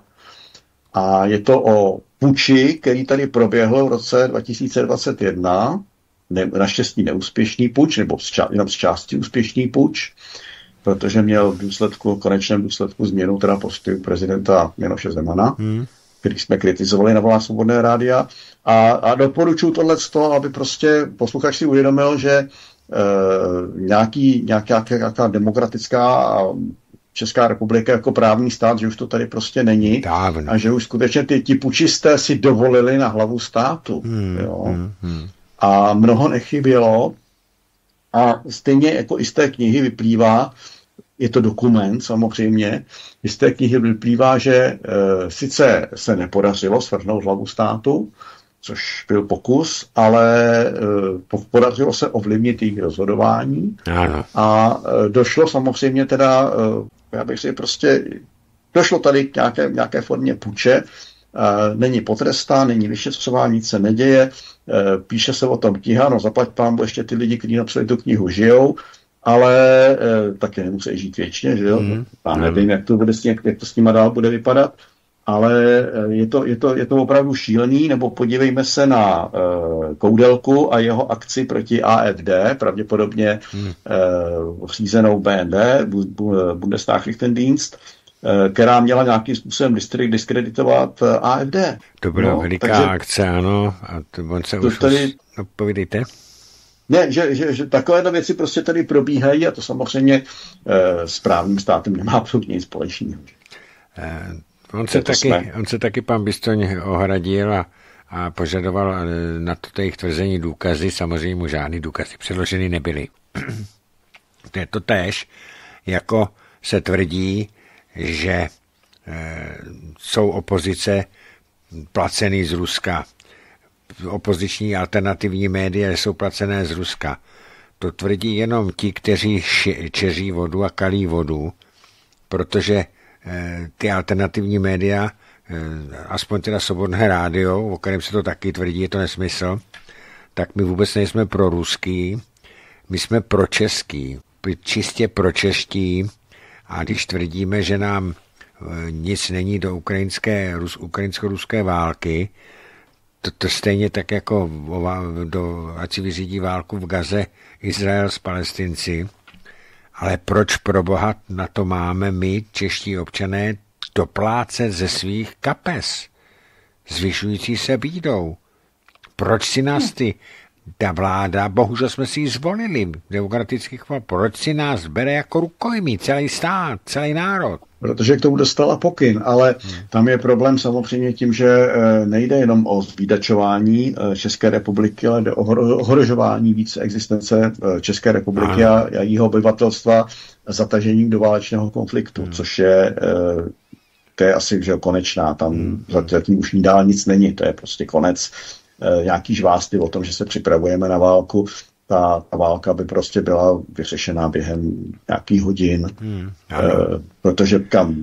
Jedině debil si může myslet, že, že by Ruská federace e, ty své konvenční slabosti e, nepoužila e, jaderné zbraně. A to samé, kdyby došlo a e, splnil by čínský prezident svůj slib vůči Rusku, že v případě Eh, ohrožení Ruské federace, či eh, Čínská lidová republika Ruské federaci pomůže, tak samozřejmě by se, ta, eh, by se to obrátilo, ten gard, to znamená, Západ by byl konvenčně v háji, hmm. protože samozřejmě těžko může někdo konkurovat armádě Čínské lidové republiky při počtu obyvatelstva miliarda 400 milionů. Takže samozřejmě by to byl zase ten západ, kdo by první používal ty jaderné zbraně. No. Takže víceméně eskalace toho konfliktu eh, ohrožuje existenci České republiky, ohrožuje existenci každého občana České republiky, existuje, eh, ohrožuje existenci tohoto prostoru jako takového. Takže je potřeba, aby k ní dále docházelo. Pardon. Takže o tom to je. Jako je, to, je to skutečně o bytostném ohrožení nás všech tím, tou snahou o zatažení eh, České republiky do války že se o to snaží. Tak vážení posluchači, blíží se nám osmá hodina, pane Skalický, skvělý, první a první hodina. A to znamená, že po přestávce ve na devět eh, se budeme těšit na vaše dotazy a připomínky. SMS-kami můžete už teď na telefon 731 720 756. No a od čtvrt na devět i potom budete moci volat do, přímo do vysílání. A my, pane Skalický, pokud nebude velká, velké množství otázek, bych měl ještě jedno téma, který si necháme až po přestávce, ano? Budu se těšit, pane redaktore, a přeju hezkou zábavu těch 15 minut našim posluchačům. Takže ve čtvrt na 9 opět se budu těšit na slyšenou. Máme po přestávce a já volám pana Skalického. Pane Skalický, slyšíme se? Slyšíme se, dobrý večer ještě jednou vám i posluchačům. Dobrý večer ještě jednou vám taky a posluchačům samozřejmě e, také. Já mám tady jeden ještě takový problém. Vy jste chodící encyklopedie, znáte zákony. Jak to je teďka? Já jsem se přečetl, že s tou digitalizací, kterou má na starosti pan minister Bartoš, tak jsem se dočetl, mám do, na mainstreamu, psali to myslím na i dnes, že dneska prakticky nemusí řidiči vozit sebou e, žádné doklady, kromě dokladu o povinném ručení, o zaplacení povinného ručení a u seniorů doklad o lékařské prohlídce. Eh, že od všechno ostatní si ty policajti vygooglují. Tak jak je to? Co, když se, co, co se stane, když třeba si zapomenu doma řidičák a oni mě chytnou? Už nic teďka. Platí to teda opravdu? Ne, od, od 1. ledna 2024 nemusí řidiči po cestách v České republice mít řidičský průkaz nebo uh, to osvědčení od vozidla, ale obojí musí existovat. To znamená, když to máte doma v šuplíku, nic se neděje, ten policista má u sebe e, spojovací zařízení, mobilní, kterým si vás ověří. To znamená, vy mu řeknete, kdo jste, nebo mu dáte občanku jenom ano. a on si ověří, že, že máte řidičské oprávnění a on si ověří eh, majitele toho auta. To znamená, že je vaše, nebo že je vaší paní, nebo něco podobného, nebo že řeknete mu, že ho máte půjčený od někoho a on si ověří toho majitele. Takže to všechno eh, je pravda. Samozřejmě ve chvíli, kdy pojete do zahraničí, tak musíte mít i e, tyto doklady sebou v zahraničí, protože ten zahraniční policista nemá přístup do našich databází a musíte prokázat, jak teda oprávněnost toho, že e, jedete s tím autem, tak mhm, oprávněnost mm-hmm. toho, že řídíte. To znamená, musíte mít jak ten řidičský průkaz, tak ten, to osvědčení. Tak a další věc, která mě tam zaujala, e, já to teda neudělám, už se přiznal, Oni tvrdí, že se budou rušit, nebo že už se snad zrušili velké technické průkazy. To se stalo, to se Až... stalo, to je také od 1. ledna je to, máte de facto jenom to bývalé osvědčení, dneska je to technický průkaz, ale je to jenom ta maličká kartička. No. A tam je veliký problém s tím, že v tom velkém technickém průkazu byla řada údajů, které potřebujete, a e, které samozřejmě se nedozvíte. To jsou zejména jsou to rozměry pneumatik, protože hmm rozměry pneumatik, které jsou zapsány ve velkém technickém průkazu, jsou pro vás závazné a ve chvíli, kdy si tam namontujete pneumatiky jiné, tak vás povinně na technické kontrole vyhodí. Hmm. To znamená, vy nevíte, jaký máte koupit gumy na auto, hmm. zejména co se, že vy poznáte, že máte třeba 13 nebo 15 disky, 15 palcový, to si změříte metrem ale vy neznáte profil, to znamená, nevíte, jakou mají mít výšku a nevíte, jakou mají mít šířku, Eh, tam může být pro to vaše auto předepsán jediný jediný rozměr a když se netrefíte, tak pochopitelně eh, jste v loji, to znamená, vy de facto byste měl eh, se potom obracet na toho dovozce, který, nebo na toho výrobce, který by vám měl říct podle vinu, jaké pneumatiky můžete mít. A to všechno bylo právě, tyhle ty údaje byly v tom velkém technickém průkazu, který neexistuje. Proto radím každému, kdo se na mě obrací, kdy třeba převádí auto, kupuje auto, prodává auto, něco podobného, tak aby požádal tu úřednici na tom, eh, na tom magistrátu, která ten převod provádí, ona sice ten velký technický průkaz zruší, ale může vám ho nechat. Ja. To znamená, každý, jak se ho nechá hmm. a má tyhle ty údaje k autu, protože tomu garantuje to, že si koupí správný pneumatiky, nevyhodí peníze na, za nesmysl a nebude vyhozen z technické kontroly. Tak přesně. To znamená, že není povinnost, abych, že musím teďka vzít technický velký techničák a někam to jít odevzdat na policii. Ne, ve chvíli, kdy to auto budete převádět, tak ho vám ho zrušej a tomu novému majiteli, nebo když vy budete kupovat starší auto, tak vám jako novýmu majiteli už vystaví jenom tu kartičku, hmm. Ale kde těch údajů je výrazně méně, to znamená, tam se právě kam nejdůležitější údaj, který pro vás je, kupujete zimní gumy, kupujete no, letní gumy a hmm, musíte vědět, jaký máte koupit, protože pouze s těma gumama, které jsou zapsané v tom techničáku, vy můžete na technickou a pojdete. No jo, ale když tu kartičku, ten, to osvědčení o technickém průkazu s sebou mít nemusíte, Nemusíte. Vůbec nemusíte mít nic, oni, oni si to ověří, policajti, když vás zastaví na nějaké silniční kontrole, a e, musíte mít pouze do zahraničí. To znamená, v zahraničí musíte dokázat, že máte právo s tím autem jet, tou kartičkou. Ale platí to, co jsem se ptal, co jsem říkal, že jsem se tam dočetl, že ten řidič sebou musí mít e, po, potvrzení, byla to, říkal jsem tomu zelená karta, že jo? Po, po, ne, ne, ne, ne, e, tohle to, to můžete, to pojištění, vy můžete už mít elektronicky v mobilu. Policie to zase uznává, to znamená, stačí, když budete mít tu zprávu od pojišťovny, která vám pošle, že jste zaplatil a že máte de facto tu bývalou zelenou, dnes bílou kartu, ano, ano, ano. tak eh, tu vám de facto pošlou jakoby k vytištění. A když ten soubor si uložíte do mobilu jako obrázek, mm-hmm. tak to bohatě stačí a policie vám to uznává. Dobře. Jo? To znamená, není to žádný problém. Samozřejmě eh, problém nastane, když se vám vybije mobil nebo když se vám ten soubor ztratí, hmm. ale s ohledem na to, že podle SPZ lze dohledat zde je auto pojištěno normálně na internetu. Hmm. Je to server www.bezpojištění.cz, bezpojištění.cz, jo. Hmm. Tam, je, tam, tam ověřujete, třeba i v případě nehody, když vás někdo nabourá, tak vy si můžete na tomto serveru, zadáte tam datum a SPZ jeho, nebo registrační značku, tak jak se správně říká, a, a vám vyběhne, u jaké pojišťovny je to auto pojištěno, které vás nabouralo, po případě zda je nepojištěné. Takže i ta policie si tohle to může ověřit, jo? nebo vím to můžete na to, když si máte v mobilu internet, tak můžete na místě ověřit, že to auto má platné uzavřené e, povinné ručení. Jo? Takže e, tam, je, tam je samozřejmě problém ve chvíli, kdy e, by ta elektronika nefungovala, ale není to vaše věc, není to vaše chyba, je to věc těch policajtů, kteří si to budou chtít ověřovat.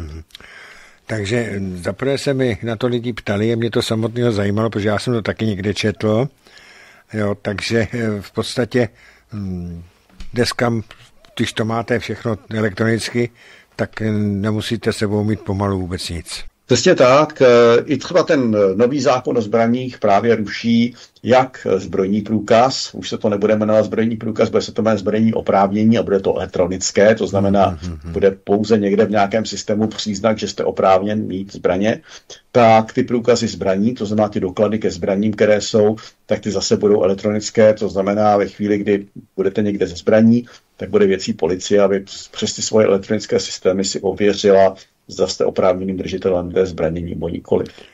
Takže trzíme technický, velký technický průkaz, protože opravdu já si eh, ty, ty, si člověk nemůže pamatovat všechny ty technické údaje, které jsou tam, tak ten si nechám zkrátka. Nikam ho vracet. Ano, po, vždycky, vždycky, když prostě byste o něj měli přijít, ať už kupujete nebo prodáváte auto, no, no, no. tak vždycky požádat úřednici, ona ho, já mu jako ho zneplatní, nicméně, aby vám ho vydala, aby ten doklad k tomu autu byl, stejně tak, jako si necháváte třeba návod, nebo si necháváte nějaké, nějaké, nějaký manuál, nebo si necháváte servisní knížku, ano, ano, tak abyste měli ano. tento doklad. Samozřejmě horší to mají ti, kteří si koupí nové auto, protože ty už ten velký technický průkaz nedostanou a budou muset z nějakých manuálů vyčítat ty základní hmm. údaje, které právě v tom technickém průkazu byly, aby třeba to auto správně obuli na zimu nebo něco podobného.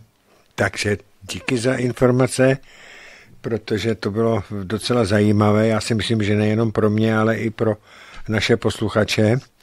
A tak, taková rada, tedy mm, technický průkaz, pokud možnosti nechávejte a při novém nákupu už máte smůlu při, no... při novém jako už máte smůlu a víceméně třeba, eh, když budete uzavírat tu kupní smlouvu na nové vozidlo, tak si nechte od prodejce prostě ty základní údaje, třeba věc na nějaký papír, který pečlivě uschováte. Hmm, hmm, hmm. To je právě ty pneumatiky, které tam patří, rozměry disků, ano, eh, ano. jo, nějaké, já zatím, maximální přípustné zatížení na, na kouli, na přívěsu, že jo? Takovéhle věci, které nějakým způsobem v tom techničáku velkém byly, ale samozřejmě z toho malého techničáku se, z toho, z toho současného technického průkazu, a dříve to bylo osvědčení o technickém průkazu, se již nedočtete.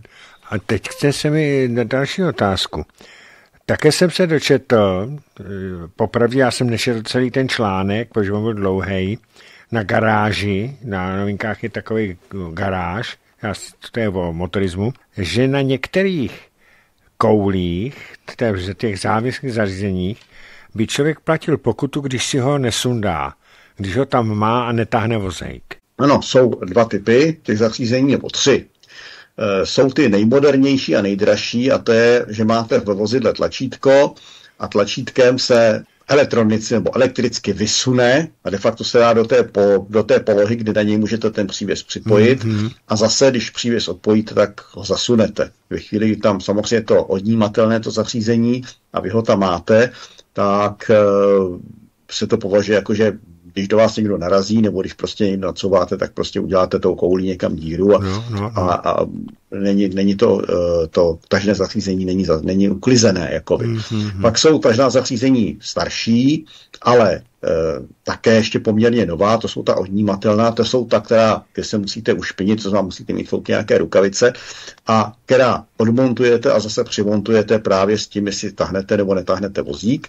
A ty nejstarší tahná zařízení, nebo ta nejlacinější verze, tak ty jsou pevná, ty samozřejmě nikdo nesundává, protože to sundat nejde, ta většina je přešrobovaný nějakým, nějakým, nějakým podlaze a podobné věci mm-hmm. a hmm. ta demontáž toho zařízení je možná pouze na montážní jámě a a samozřejmě dokonce se požaduje, aby když vám to tam montují, tak aby to byl nějaký, nějaký schválený a nějaký autorizovaný eh, autoservis, který nějakým způsobem i do toho velkého technického průkazu tenkrát dneska vám bude dávat nějaké potvrzení o tom, eh, potvrzuje právě, že provedl tu montáž odborně a že je oprávněn tu montáž provést a následně se vám to každé zařízení zapisovalo. Takže eh, nemělo by se, tam, kde je to tažné zařízení, buď jaksi zasunovatelné tlačítkem na polubní desce, anebo odmontovatelné za použití teda fyzické síly a rukavic nejlépe, tak tam by se nemělo jezdit s tím tažným zařízením vysunutým ven bez vozíku. A teď poslední otázka. Eh, když se jezdilo na technické prohlídky, tak člověk tam musel dát eh, velký techničák, kde tam dali razítko že, s další prohlídkou. Jak to bude teďka, když pojedu na technickou prohlídku a už tam mám tam vzít ten techničák velký sebou, aby tam dali to razítko? Ne, ten velký techničák samozřejmě už nebude platit, to znamená, eh, vy ho tam sice vzít můžete, ale hlavní, nejdůležitější je ten elektronický záznam do systému. Mm-hmm. Takže eh, vy si, když si řídíte třeba bankovní identitu, tak se dostáváte ke svým registrům. A vy můžete ve svých registrech si třeba zadat víceméně požadavek přes bankovní identitu a nebo přes portál občana, tak si můžete zadat požadavek, aby vám systém hlásil, že vám končí technická prohlídka. Takže vám na mail přijde zpráva, pozor, za dva měsíce vám skončí technická prohlídka na autě registrační značky TAT. Takže jako je tam, je tam samozřejmě cesta, eh, Jinak pochopitelně to méně pohodlné, než to bylo, protože když jste měli ten velký technický průkaz, tak tam jste dostali razítko, Právě, technická no. prohlídka platí od do. Mm. Otevřel jsem si doma technický průkaz, zjistil jsem, že 22. května mi končí technická, tak jsem věděl, že se do 20. mám objednat na technickou. Přesně teďka, tak. teďka samozřejmě musím pátrat, musím na portál občana, mm-hmm. přes portál občana se dostanu do registru silnějších vozidel a v registru silnějších vozidel si najdu to svoje vozidlo, a podívám se, jestli máte krátkou technickou prohlídku, po případě dokdy. Takže je to samozřejmě pro občana složitější, tohle to bylo jednoduchý, nicméně hrajeme si na elektronizaci státní zprávy, to znamená, Uh, proč to nedělat složitěji. Já pamatuju, za komunistů jsem pracoval na jedné státní instituci a uh, svého času tam převedli, tenkrát začínali počítače, tak tam převedli mzdovou agentu, agendu na počítač takže výplata se posunula z 5. na 10. Takže místo toho, aby se, eh, aby se to zjednodušilo, tak samozřejmě to bylo zkomplikovaný a, a zesložitění a samozřejmě to se vyžádalo více času. Takže e, přesně touto cestou jdeme v té elektronizaci státní zprávy. Je to čím dál tím složitější, čím dál tím komplikovanější a čím dál tím méně pohodlné pro toho občana protože teď musí pátrat potom, jaký má koupit gumy a musí pátrat, kdy mu platí hmm. technická prohlídka, nesmí zapomenout si zapnout počítač a musí ten počítač mít a musí si řídit identitu, aby se dostal na portál občana, hmm. aby se dostal do svých registrů a já něco všecko, což samozřejmě pro eh, člověka, který chodí do práce a v práci třeba používá počítač jako úředník nebo jako nějaký, nějaká administrativní stíla, tak asi pro ně není složitý, ale e, důchodce, který třeba ten počítač nemá, Eh, a nechce ho mít a, a nechce mít třeba jako tyhle si zařízení, ty chytrý mobily a podobné věci, tak pro něj to je samozřejmě vážný zkomplikování života a eh, asi by si zasloužilo prostě tohle nějakým způsobem spíš víc uvažovat, než, než se něco zavede takového. Proč říkám, ten velký technický průkaz měl svůj význam. Máme tady telefonát. Eh, dobrý večer, slyšíme se. Michal, do, dobrý večer vám tam oběma i posluchačům. Já bych měl takový dotaz na pana Skalického, zrovna když tam teď rozebíráte tu digitalizaci.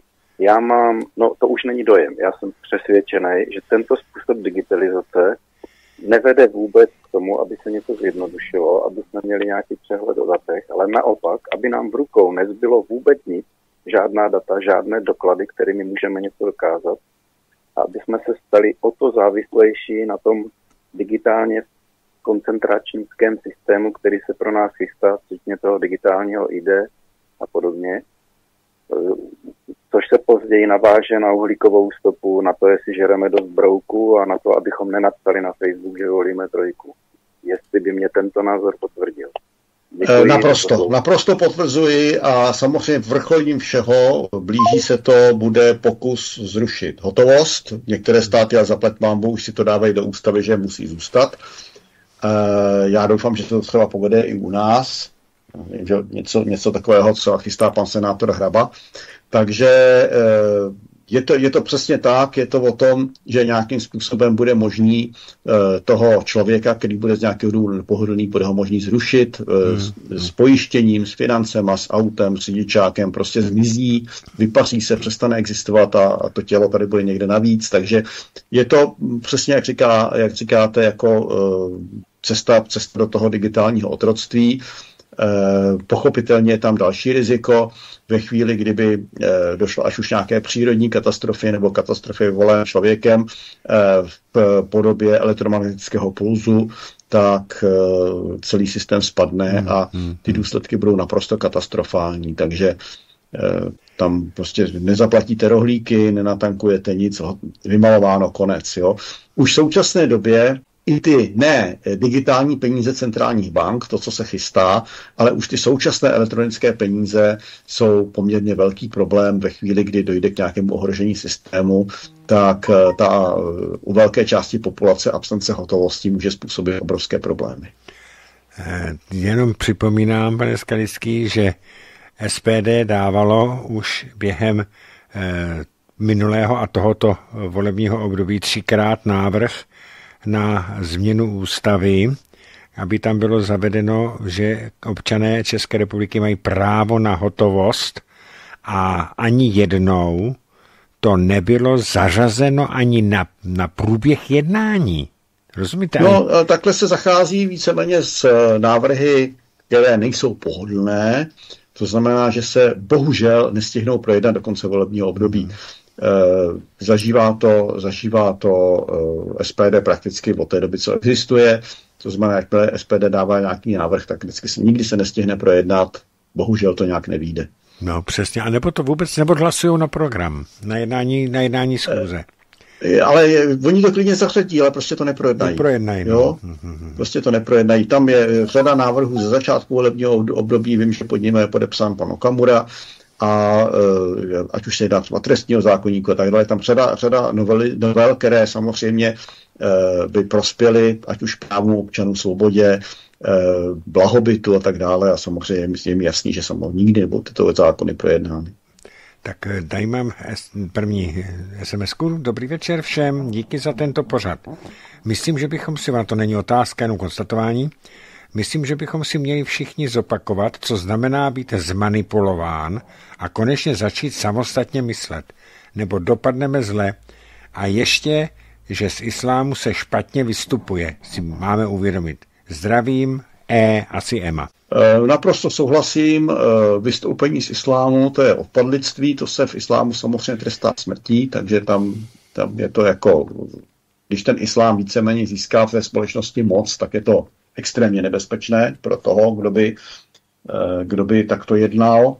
A co se týče té manipulace, no tak ta manipulace je všude kolem nás, konec konců eh, ti, ti loutkovodiči té současné vládnoucí garnitury jsou současně vlastníky médií, že jo. Hmm. Takže, a nebo uzurpátory médií, když budeme hovořit no. o těch takzvaně veřejnoprávních, protože uh, no, vlastník aspoň ty média platí, ten uzurpátor média je pouze zneužívá a nechá to zaplatit daňového poplatníka.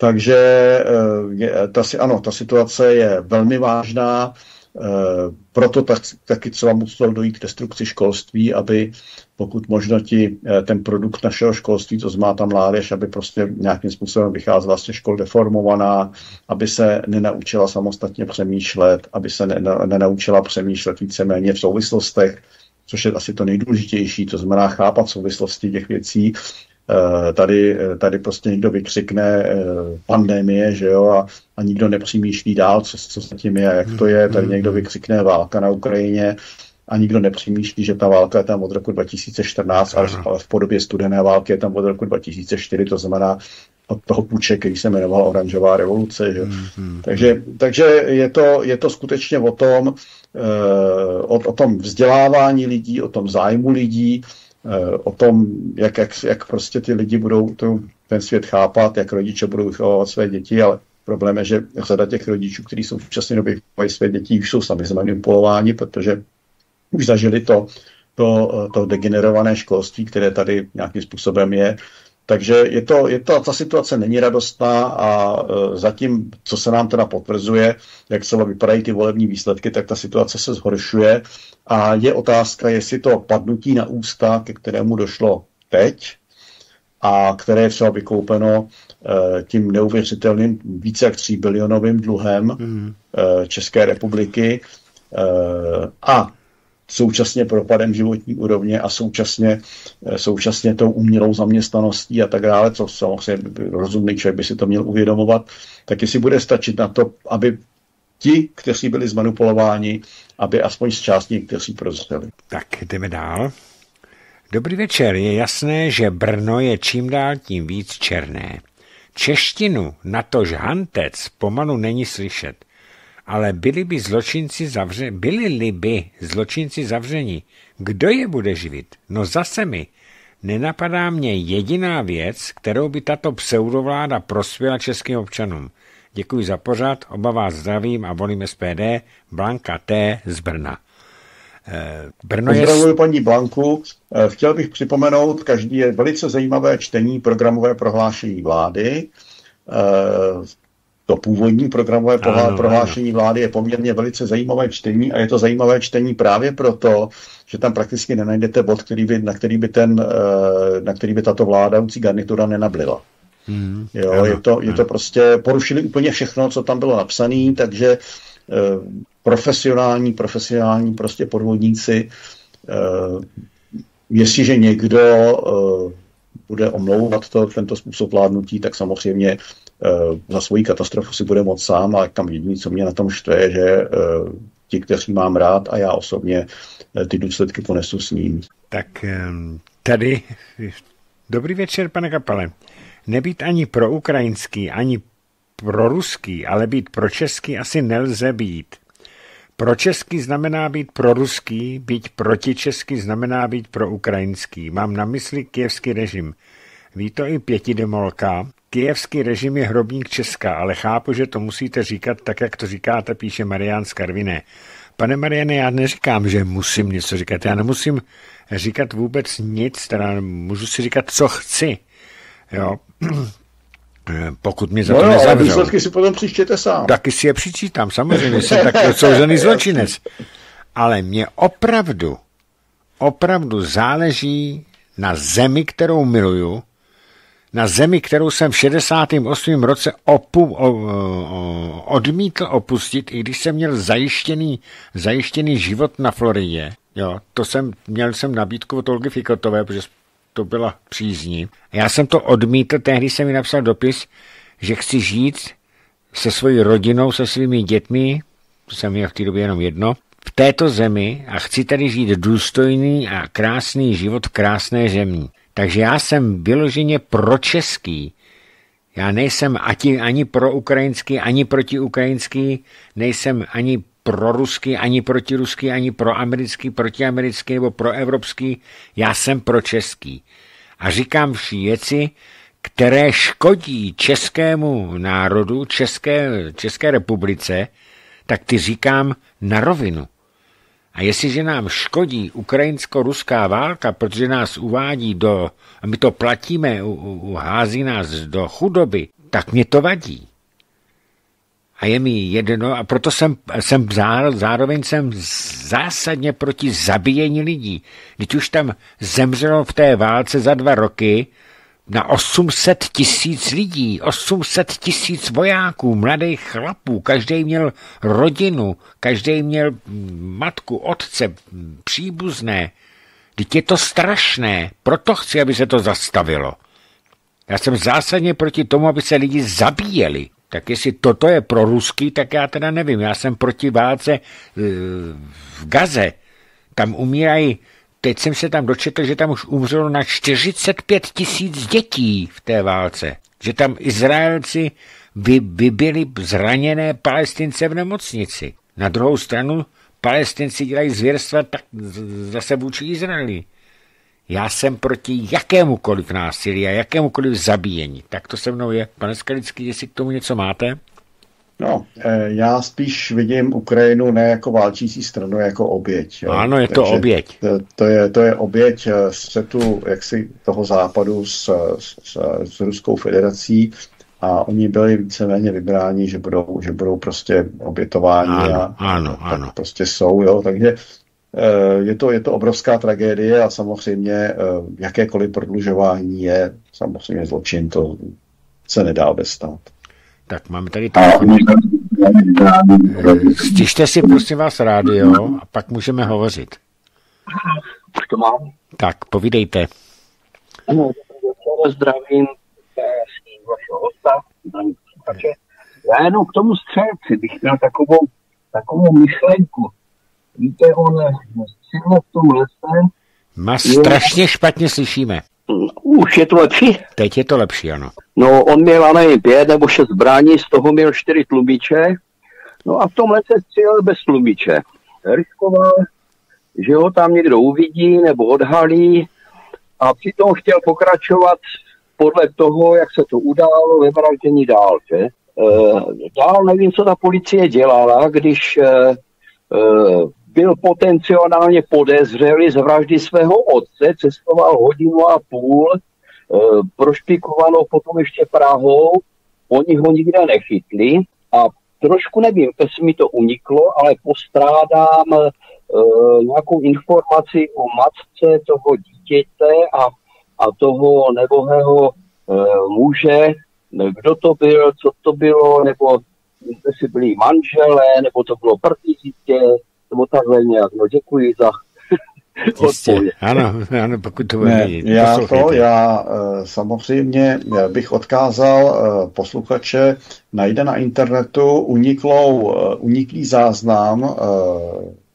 policejní protokolace, který zveřejnila civilní zaměstnankyně policie, která potom byla odhalena a vyhozena za, tuto, za tento čin. Eh, kde je popsána činnost policie právě v rámci toho, eh, té tragédie. Eh, je to věrohodné, je ten materiál pravděpodobně pravý, právě protože se zveřejnilo, že ta pracovnice, která to zveřejnila, tak byla vyhozená ze služeb policie České republiky. Tam víceméně tu činnost nějakým způsobem si můžete přečíst a, a, nějakým způsobem to analyzovat. Je to, je to až prostě do té tragédie. E, takže e, těžko hodnotit, jako, co bylo špatně, ono jako od stolu a z bezpečí nějaký kanceláře nebo nějaký pracovny se kritizuje dobře.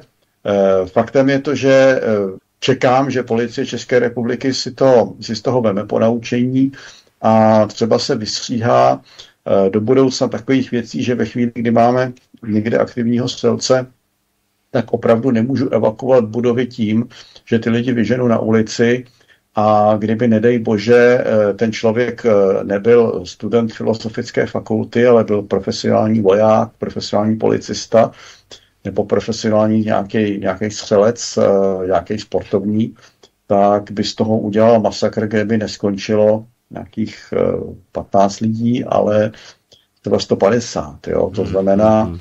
tam skutečně, eh, tam skutečně prostě eh, je potřeba nějakým způsobem ten zásah vyhodnotit právě z hlediska třeba to ohrožení těch osob, které byly evakuovány z té budovy. Konec konců vyjadřoval se k tomu i pan ex-ministr zahraničí Zaorále, který tam vyučuje. Takže eh, říkám, jako je eh, ke stažení volně tenhle ten, tenhle ten materiál, to já si myslím, že se nepodařilo z internetu odstranit a že když to vygooglíte, tak vám vypadne eh, ten, ta policejní protokolace toho, toho zásahu a toho, de facto je to, je to z operačního, že jo. A pochopitelně očekáváme skutečně, že se, že se ukáže nebo že se zveřejní e, nějaké podrobnosti k motivu toho pachatele a k těm dopisům, které zanechal. To znamená, e, abychom nějakým způsobem byli schopni nahlédnout do té jeho hlavy a zejména, abychom vyhodnotili, kde došlo k selhání, to znamená, jak je možné, že ten člověk měl zbrojní průkaz a jestli tomu šlo, nějakým opatřením zabránit a co se, co se mělo udělat a co ne. A samozřejmě do té doby, než tohle proběhne, tak eh, je považuji za naprosto nesmyslný a šílený jakkoliv měnit jakýkoliv zákon, vyhlášku, nařízení, mm, protože pochopitelně ty lidi nevědí, ty, kteří o tom hlasují, což jsou ať jsou to poslanci, nebo jak jsou to ministerští úředníci v nějakých podzákonných normách, tak vůbec nevidí, co řeší, protože pochopitelně nemají podklad. Jo? Takže nejdřív vyhodnotit, eh, vzít si z toho nějaké ponaučení a potom samozřejmě navrhovat nějaké legislativní změny, pakliže je možné eh, ta, ta rizika, která budou popsána a ta, ty nedostatky tou legislativní změnou odstranit. Ale to, co se děje, je bohužel obráceně hmm. a já jsem přesvědčen, že to, co se děje obráceně, se děje účelově obráceně. Ano. Tak, další dotaz. Dobrý večer, pane Skalický. Prosím vás, jak bude probíhat zápis alternativních disků a pneumatik, když nebude velký technický průkaz? Děkuji za odpověď. Ptá se Tomáš z Vysočiny. Eh, na úřadě, eh, na úřadě, kde máte evidovaný to vozidlo, nebo teď už teda je to možné na jakýmkoliv úřadě, protože oni přistoupí k tomu vašemu vozidlu třeba, no, když jste registrován v Praze, tak klidně můžete do chrbu, a e, tam samozřejmě doložíte oprávněnost toho zápisu a oni vám ho provedou. A bude to v tom elektronickém systému a ten elektronický systém k tomu přistupuje ten technik na té stanici technické kontroly a tam kontroluje ten zápis, který máte v tom elektronickém systému s tím fyzickým stavem, který máte na autě. Aha, takže když budou chtít dát po Tomáši z Vysočiny eh, nějaký jiný disky a jiný gumy, který budou odpovídat, tak budete muset to jít, aby vám to v ten... Ne, ne, tom... budete, to, oni budou od, muset odpovídat, to znamená, vy budete muset nějakým papírem od výrobce doložit, že to je možný na to montovat, aby vám to zapsali. To vám nezapíše jen tak někdo, že já si chci dát na auto jiný gumy, jiný kola, mm-hmm. tak eh, to samozřejmě, eh, to, že to chci, to můžu chtít, a ta úřednice nebo ten úředník mi to nezapíší, ale já musím doložit oprávněnost toho požadavku, to znamená, že výrobce to nějakým způsobem umožní. Jo, oni jsou na to ty normy. papír od výrobce nebo papír od dovozce, mm-hmm. který řekne, alternativně na to montujte místo 16, 15 eh, o týdle šířce a o týdle mm-hmm. výšce gumy. A e, jestliže to doložím hodnověrně, tak ten úředník mi tohle to může zapsat potom. Tak, Dobře, díky za informaci. Jak vidíte, tak eh, se to v podstatě hm, týká hodí všech nás motoristů, že? a motorista je tady každý. Tak další. Eh, zdravím STK se dá zjistit podle nálepky na SPZC. Tyto samolepky se také přestanou lepit? Marek od Pardubek.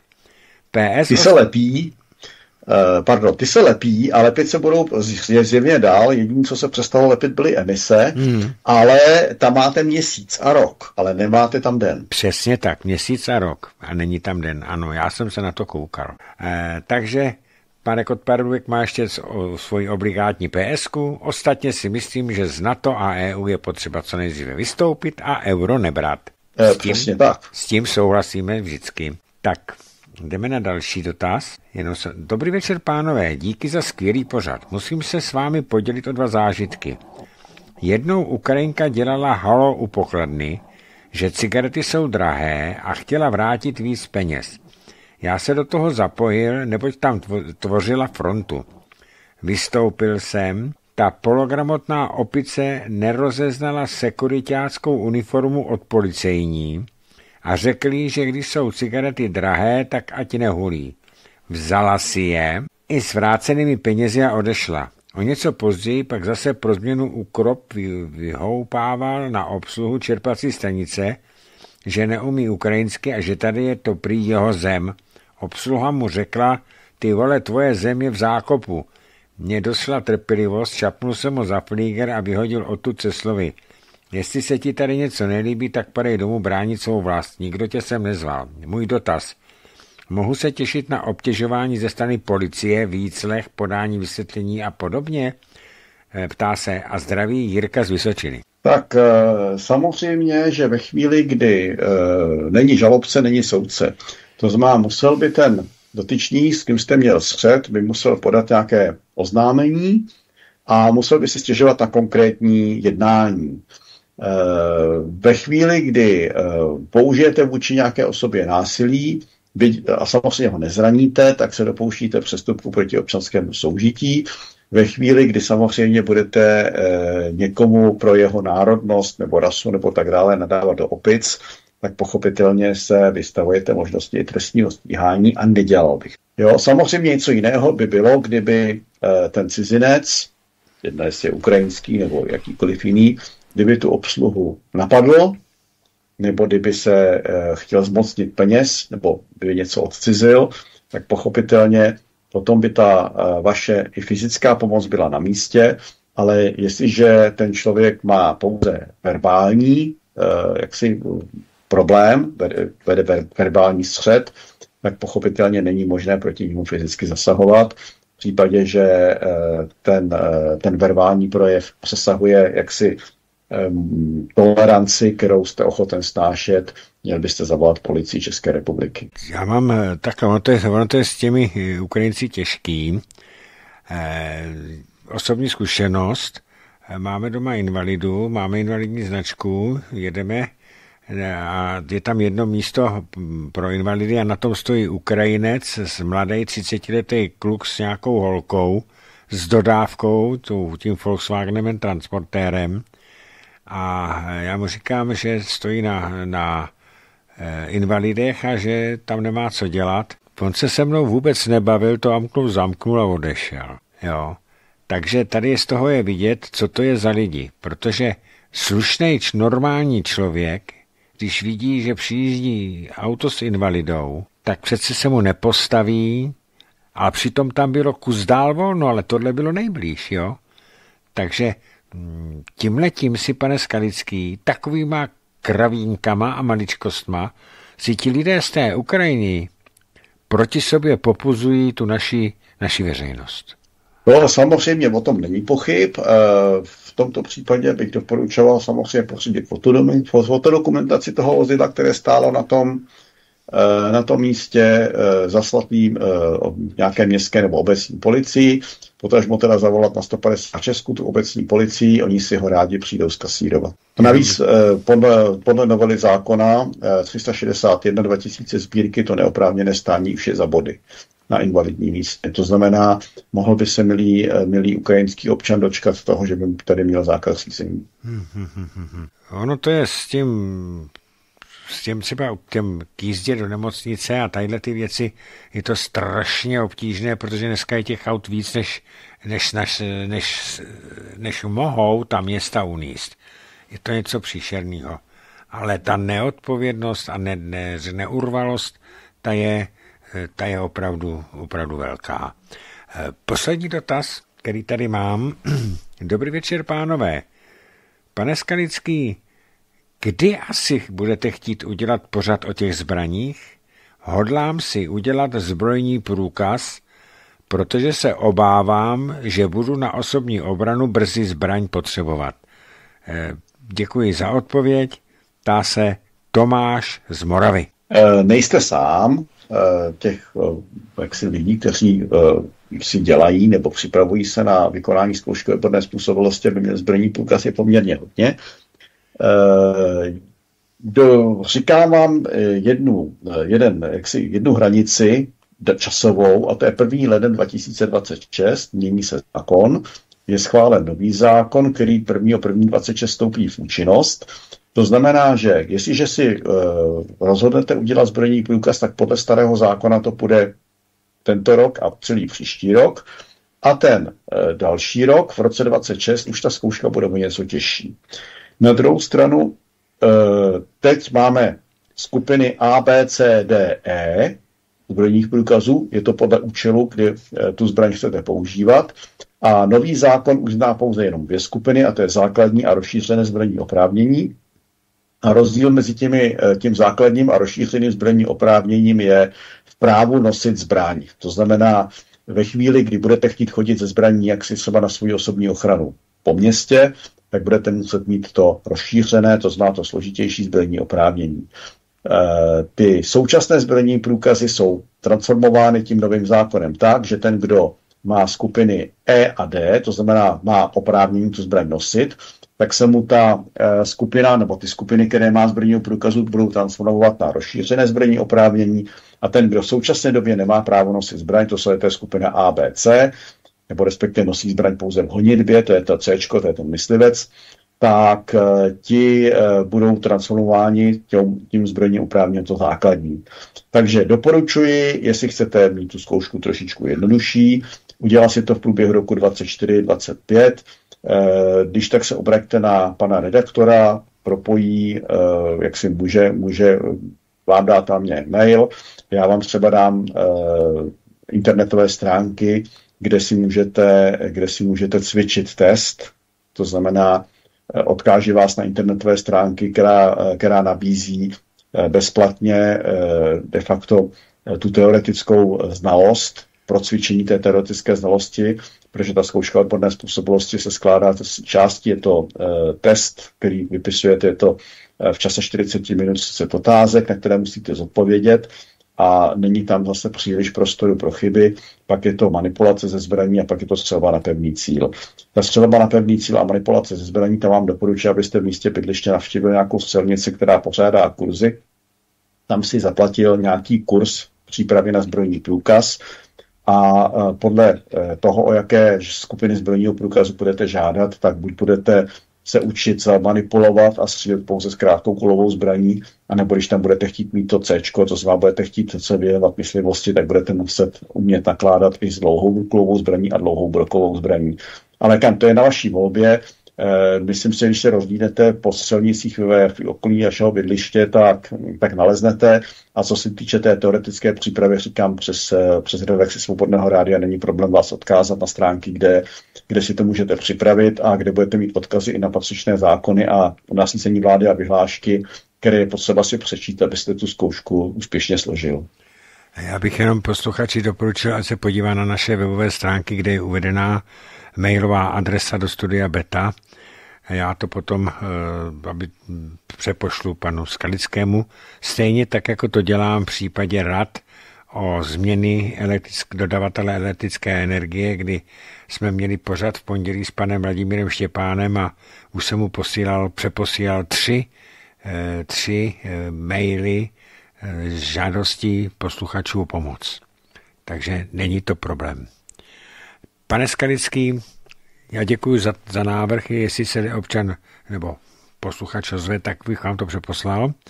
A já mám úplně... Samozřejmě vyhovím všem, kdo bude, bude mít zájem, tak, to, tak samozřejmě ty navedu, kde se učit, jak se učit, co se učit, co se mhm. zkouší, jak to, jak to asi vypadá.